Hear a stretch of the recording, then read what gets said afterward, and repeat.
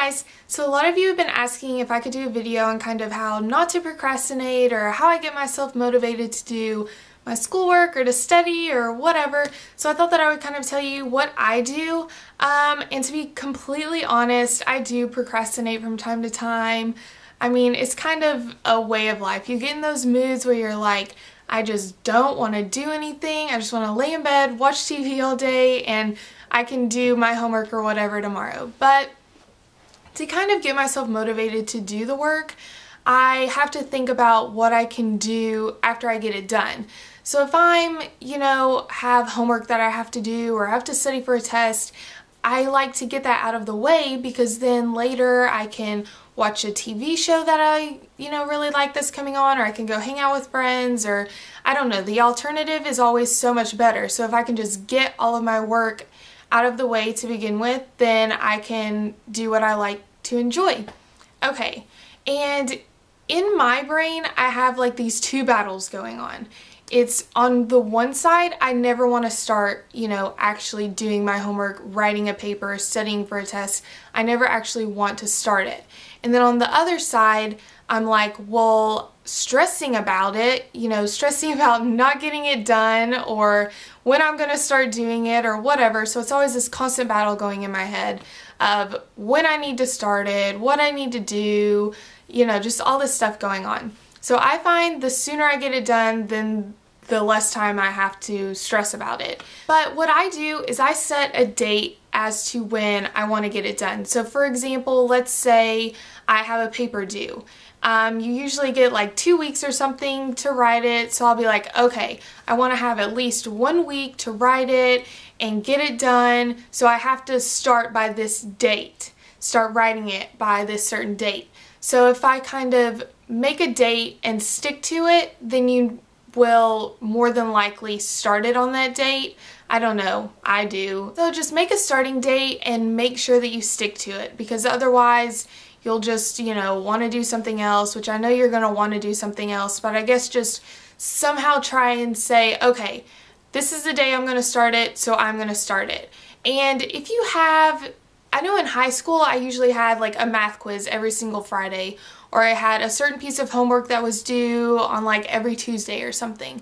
So if you have that, I would make kind of a schedule around like your work and your extracurricular activities to try and get a schedule, um, a routine for you just so that every week is the same and you don't really fall out of the routine. So let's say you do have a math quiz every single Friday.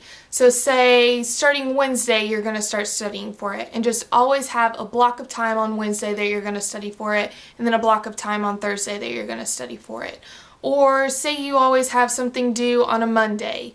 Um, make time Saturday during the day, you're always going to do it. Or like Sunday morning, you're always going to do it before you get, you know, starting your day. Just so that you have a routine. So that when you're in the routine, you kind of stick to it better. Once you kind of get the hang of it.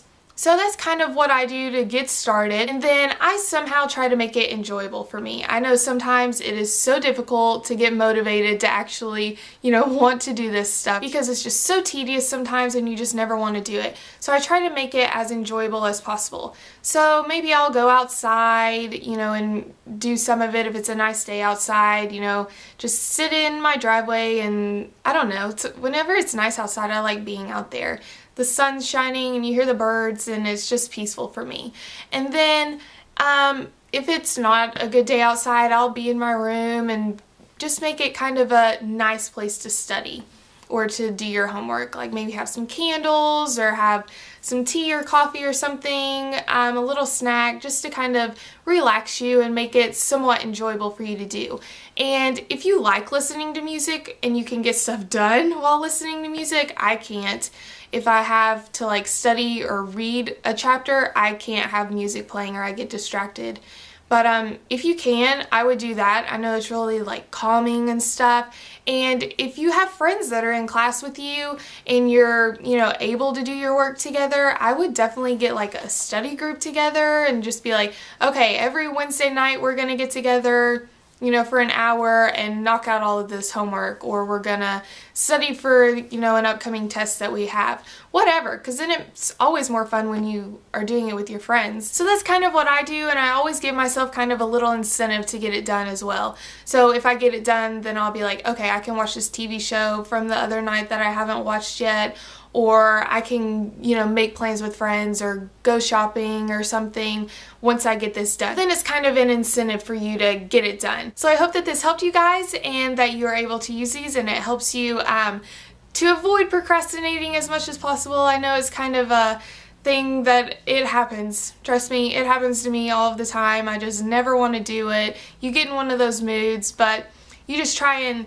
stick to it and get through it and then you can do something that you really enjoy doing and want to do. So that is it for today and I will talk to you guys later. Bye!